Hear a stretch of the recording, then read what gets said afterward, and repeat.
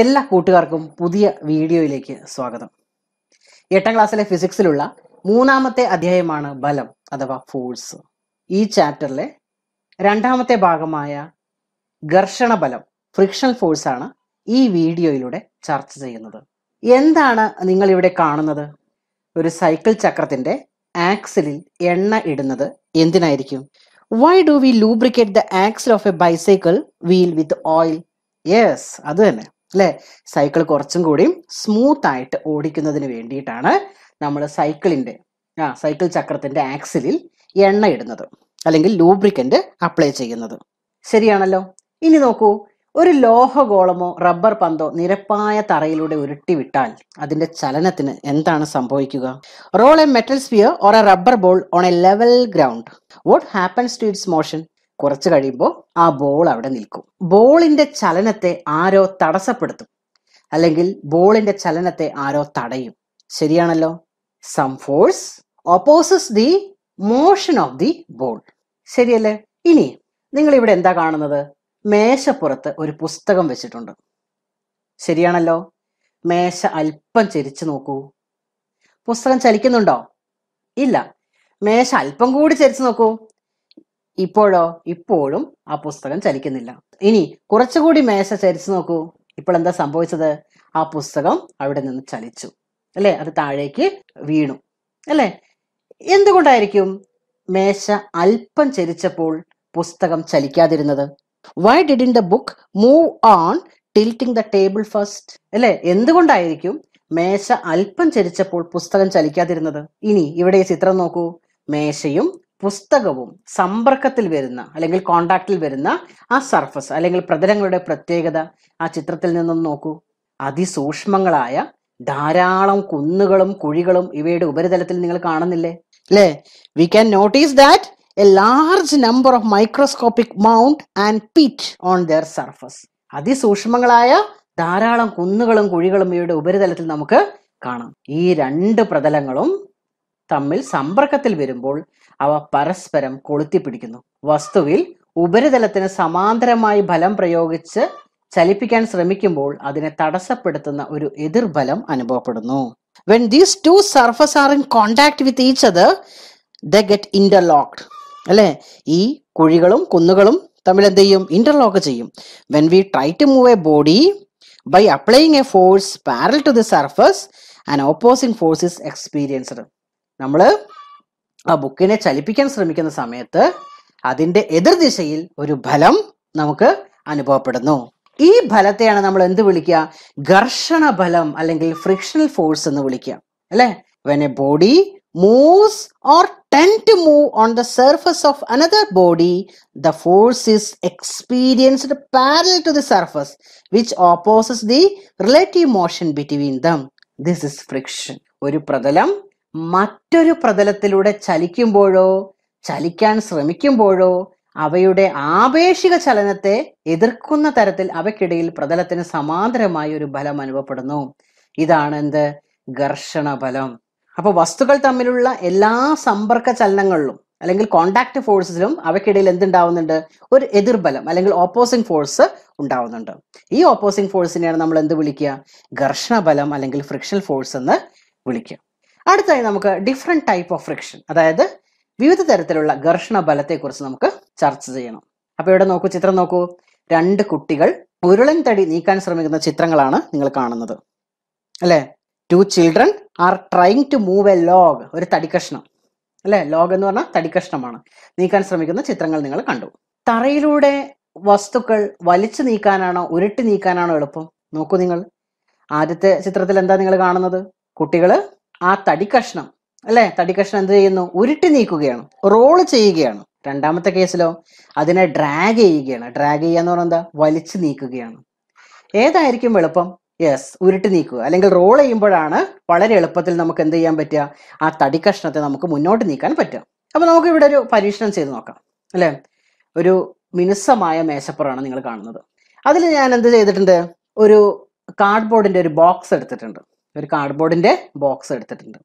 അതിൽ ഒരു നൂൽ കെട്ടി എന്ത് ചെയ്തു? ഒരു തട്ട് തൂക്കിയിട്ടിട്ടുണ്ട്. ആ തട്ട് എന്തിനു വേണ്ടിയിട്ട്? ഒരു പാൻ തൂക്കിയിട്ടിട്ടുണ്ട്. ഒരു തട്ട് അല്ലെങ്കിൽ പാൻ തൂക്കിയിട്ടിട്ടുണ്ട്. എന്തിനാണ് ഈ തട്ട്? ആ നമുക്ക് കുറച്ച് വെയിറ്റ് അതിലിങ്ങനെ വെക്കണം. വെയിറ്റ് തൂക്കുന്നതിന് വേണ്ടിയിട്ടാണ് എന്ത് ചെയ്തിട്ടുള്ളത്? ഈ പാൻ അല്ലെങ്കിൽ അവിടെ തട്ട് വെച്ചിട്ടുള്ളത്. ശരിക്കും നമുക്ക് ഈ നൂൽ ഒരു പുള്ളിയിലൂടെ അല്ലെങ്കിൽ ഒരു കപ്പിയിലൂടെയാണ് വെക്കേണ്ടത്. പുള്ളി കിട്ടാത്തത് കൊണ്ട് അല്ലെങ്കിൽ കപ്പി കിട്ടാത്തത് കൊണ്ട് ഞാനിപ്പോൾ തൽക്കാലം മേശപ്പുറത്തിലൂടെ ആണ് ഈ നൂൽ വലിച്ചിട്ടുള്ളത്. ഇനി എന്താണ് നമ്മുടെ ലക്ഷ്യം? നമ്മുടെ കയ്യിൽ കുറേ ആണികളുണ്ട്. ഒരേ വെയിറ്റ് ഉള്ള കുറേ ആണികളുണ്ട്. ഈ ആണികൾ എന്ത് ചെയ്യുന്നു? ഓരോ ആണികളായിട്ട് നമ്മൾ ഈ തട്ടിൽ വെക്കുന്നു. അല്ലേ? അങ്ങനെ കുറച്ച് ആണികൾ വെക്കുന്ന സമയത്ത് ഈ ബോക്സ് നീങ്ങാൻ തുടങ്ങും. എത്ര ആണികൾ വെക്കുമ്പോഴാണ് ഈ ബോക്സ് നീങ്ങുന്നത് എന്നാണ് നമുക്ക് കണ്ടെത്തേണ്ടത്. അപ്പൊ എന്ത് ചെയ്യാം? നമുക്ക് ഓരോ ആണികളായിട്ട് ഈ പാനിലേക്ക് ഇട്ട് കൊടുക്കാം. അല്ലെ? അപ്പൊ ഓരോ ആണികൾ ഇങ്ങനെ ആ പാനിലേക്ക് ഇട്ടുകൊണ്ടേയിരിക്കുകയാണ്. ആ ബോക്സ് അവിടെ നിന്ന് ചലിക്കുന്നില്ല. ഇപ്പൊ നോക്കൂ ആ ബോക്സ് അവിടെ നിന്ന് ചലിച്ചു. എത്ര ആണികളാണ് ആ പാനിൽ ഇട്ടത്? പന്ത്രണ്ട് ആണികളാണ് ആ ബോക്സിൽ ഇട്ടത്. അല്ലെ? അപ്പൊ ആ ബോക്സ് ചലിപ്പിക്കാൻ എത്ര ആണികൾ വേണ്ടി വന്നു? എത്ര ആണികളുടെ ഭാരം വേണ്ടി വന്നു? പന്ത്രണ്ട് ആണികളുടെ ഭാരത്തിന് തുല്യമായ ഒരു ബലം പ്രയോഗിച്ചപ്പോഴാണ് ആ ബോക്സ് അവിടെ നിന്നും ചലിച്ചത്. ഇനി നമുക്ക് അടുത്തതായിട്ട് രണ്ട് കടലാസ് പെൻസിൽ എടുക്കുക. അല്ലെ? രണ്ട് കടലാസ് പെൻസിൽ എടുക്കുക. അതായത് സിലിണ്ട്രിക്കൽ പെൻസിൽ എടുത്തു. ഇനി എന്ത് ചെയ്യുന്നു? ഈ പെൻസിൽ എവിടെ വെക്കുന്നു? ഈ ബോക്സിന് അടിയിലായിട്ട് വെക്കുന്നു. ഈ ബോക്സിന് അടിയിലായിട്ട് വെക്കുന്നു. അപ്പൊ ബോക്സ് ഇപ്പോൾ ഏതിന്റെ മേലെ കൂടിയാണ് നീങ്ങുക? ഈ പെൻസിലിന്റെ മേലെ കൂടിയാണ് നീങ്ങുക. ഇനി നമ്മൾ എന്ത് ചെയ്യുന്നു? പാനിൽ ഓരോ ആണികളായിട്ട് വെക്കുന്നു. എന്താ നിങ്ങൾ നിരീക്ഷിച്ചത്? ആ ബോക്സ് പെട്ടെന്ന് ചലിക്കുന്നു. അതായത് അഞ്ച് ആണികൾ വെച്ചപ്പോൾ തന്നെ ആ ബോക്സ് അവിടെ നിന്നും ചലിച്ചു. എന്തതിനർത്ഥം ആ ബോക്സ് അവിടെ നിന്നും ചലിപ്പിക്കാൻ അഞ്ച് ആണികളുടെ ഭാരത്തിന് തുല്യമായ ഫലം അല്ലെങ്കിൽ ഫോഴ്സ് ആണ് ഇവിടെ അപ്ലൈ ചെയ്തത്. ആ ഫോഴ്സ് അപ്ലൈ ചെയ്തപ്പോഴാണ് ആ ബോക്സ് അവിടെ നിന്നും ചലിച്ചത്. അപ്പൊ ആദ്യത്തെ കേസിൽ എന്തായിരുന്നു? ആ ബോക്സ് ഡ്രാഗ് ചെയ്ത് നീങ്ങായിരുന്നു അല്ലെ? നിരങ്ങി നീങ്ങായിരുന്നു രണ്ടാമത്തെ കേസിലോ അവിടെ റോൾ ചെയ്യുകയായിരുന്നു. ആ പെൻസിലിന്റെ മേലെ കൂടെ ആയിരുന്നു ഈ ബോക്സ് ചലിച്ചത്. അതായത് റോളിംഗ് ആയിരുന്നു അവിടെ ആ ബോക്സിന് അനുഭവപ്പെട്ടത്. അല്ലെങ്കിൽ ഉരുണ്ട് നീങ്ങുകയായിരുന്നു ആ ബോക്സ് അവിടെ. അപ്പൊ ഏതിനാണ് വളരെ കുറച്ച് ബലം പ്രയോഗിച്ചത്? ആ ബോക്സ് ഉരുട്ടി നീക്കിയപ്പോൾ അല്ലെ? റോൾ ചെയ്ത് നീക്കിയപ്പോഴാണ് വളരെ കുറച്ച് ഫോഴ്സ് അപ്ലൈ ചെയ്തത്. Body rolls over the surface of another body. The force of friction which originate is rolling friction. ഒരു വസ്തു മറ്റൊരു വസ്തുവിന് മുകളിലൂടെ ഉരുട്ടി നീക്കുമ്പോൾ അനുഭവപ്പെടുന്ന ഘർഷണ ബലമാണ് ഉരുളൽ ഘർഷണം. അല്ലെങ്കിൽ rolling friction when a body slides on the surface of another body the force of friction which originate is sliding friction ഒരു വസ്തു മറ്റൊരു വസ്തുവിന് മുകളിലൂടെ നിരക്കി നീക്കുമ്പോൾ അനുഭവപ്പെടുന്ന ഘർഷണ ബലമാണ് നിരങ്ങൽ ഘർഷണം. Rolling friction is less than sliding friction അല്ലെ? ഉരുളൽ ഘർഷണം നിരങ്ങൽ ഘർഷണത്തെക്കാൾ കുറവായിരിക്കും. അപ്പൊ നിങ്ങൾക്ക് ഇവിടെ കാര്യങ്ങൾ പിടികിട്ടി. എന്താണ് ഘർഷണം? എന്താണ് ഫ്രിക്ഷൻ എന്ന് മനസ്സിലായി? അല്ലെ? രണ്ട് സർഫസുകൾക്കിടയ്ക്ക് അവിടെ സർഫസുകളുടെ പ്രത്യേകത മൂലം ഉണ്ടാകുന്ന ഒരു ഫോഴ്സ് ആണ് എന്ത്? ഫ്രിക്ഷണൽ ഫോഴ്സ് അല്ലെങ്കിൽ ഘർഷണ ബലം എന്ന് വിളിക്കുന്നത്. വാഹനങ്ങൾക്ക് ചക്രങ്ങൾ ഉപയോഗിക്കുന്നത് എന്ത് കുറയ്ക്കാനാണ്? ഫ്രിക്ഷൻ കുറയ്ക്കാനാണ്. അല്ലെ? അപ്പൊ ചക്രങ്ങൾക്ക് പകരം ഒരു ക്യൂബ് അല്ലെങ്കിൽ ഒരു ചതുരക്കട്ടയാണ് ഉപയോഗിച്ചതെങ്കിലോ വാഹനങ്ങൾക്ക് നന്നായിട്ട് മൂവ് ചെയ്യാൻ പറ്റുമായിരുന്നോ? ഇല്ല. അപ്പൊ അവയ്ക്ക് എന്താണ് ഉപയോഗിക്കുന്നത്? ചക്രങ്ങളാണ് ഉപയോഗിക്കുന്നത്. എന്തിനാ ചക്രങ്ങൾ ഉപയോഗിക്കുന്നത്? വീൽസ് എന്തിനാ ഉപയോഗിക്കുന്നത്? അവയുടെ ഘർഷണം കുറയ്ക്കാൻ ഫ്രിക്ഷൻ കുറയ്ക്കാൻ വേണ്ടിയിട്ട്. അല്ലേ? അപ്പോൾ ഉരുളൽ ഘർഷണം നിരങ്ങൽ ഘർഷണത്തെക്കാളും കുറവാണ്. അതായത് rolling friction is always less than sliding friction അപ്പോൾ നിത്യജീവിതത്തിൽ ഘർഷണം പ്രയോജനപ്പെടുത്തുന്ന നിരവധി സന്ദർഭങ്ങളുണ്ട്. അല്ലേ? Friction is used in many situation in our daily life പക്ഷേ ഘർഷണം കൊണ്ട് എന്ത് ചെയ്യുന്നുണ്ട്? ചില ദോഷങ്ങളുണ്ട്. ഘർഷണങ്ങൾ കൊണ്ട് ദോഷങ്ങളുണ്ട് അതുപോലെ ഗുണവുമുണ്ട്. ഇപ്പൊ നമുക്ക് ഒരു എക്സാമ്പിൾ നോക്കാം. തീപ്പെട്ടിക്കൊള്ളി തീപ്പെട്ടിയിൽ ഉരയ്ക്കുന്നു. Striking a match stick on the side of a match box അപ്പോൾ ആ തീപ്പെട്ടിക്കൊള്ളി എന്ത് ചെയ്യും? കത്തും. അങ്ങനെ കത്താൻ കാരണം എന്താണ്? അവിടെ ഒരു ഫ്രിക്ഷൻ ഉള്ളത് കൊണ്ടാണ്. അവിടെ ഫ്രിക്ഷൻ ഇല്ലെങ്കിൽ എന്താ സംഭവിക്കുക? ആ തീപ്പെട്ടിക്കൊള്ളി ഒരിക്കലും കത്തില്ല. ഇപ്പൊ നിങ്ങൾ ഈ തീപ്പെട്ടിക്കൂടിന്റെ ഈ മാച്ച് ബോക്സിന്റെ മേലെ ചിലപ്പോൾ എണ്ണയൊക്കെ ആയിട്ടുണ്ടാവും. അങ്ങനെ എണ്ണ ആയിട്ടുണ്ടെങ്കിൽ തീപ്പെട്ടി ഒരതിയാൽ കത്തുവോ? ഇല്ല അവിടെ ഫ്രിക്ഷൻ കുറഞ്ഞു പോയി. ഫ്രിക്ഷൻ കുറഞ്ഞു കഴിഞ്ഞാൽ പിന്നെ എന്ത് ചെയ്യില്ല? ആ തീപ്പെട്ടിക്കുള്ളി കത്തില്ല. അപ്പൊ ഘർഷണം പ്രയോജനപ്പെടുത്തുന്ന അല്ലെങ്കിൽ ഫ്രിക്ഷൻ പ്രയോജനപ്പെടുത്തുന്ന ഒരു സന്ദർഭമാണ് തീപ്പെട്ടിക്കൊള്ളി കത്തുന്നത്. അല്ലെങ്കിൽ തീപ്പെട്ടിക്കൊള്ളി തീപ്പെട്ടിയിൽ ഉരയ്ക്കുമ്പോഴാണ് ഇത് കത്തുന്നത്. അല്ലെ? അത് ഘർഷണം പ്രയോജനപ്പെടുത്തുന്ന ഒരു സന്ദർഭമാണ്. ഇനി യന്ത്രങ്ങളുടെ തേയ്മാനം wear and tear of machine അത് ഘർഷണത്തിന്റെ ഗുണകരമായ ഒരു കാര്യമാണോ? അല്ല ഘർഷണം കാരണം യന്ത്രഭാഗങ്ങൾ എന്ത് ചെയ്യും? തേയ്മാനം സംഭവിക്കും. അത് ഘർഷണത്തിന്റെ ഒരു ദോഷവശമാണ്. ഇനി വസ്തുക്കളെ പിടിക്കാൻ സാധിക്കുന്നു. Ability to hold the object അതെന്താണ്?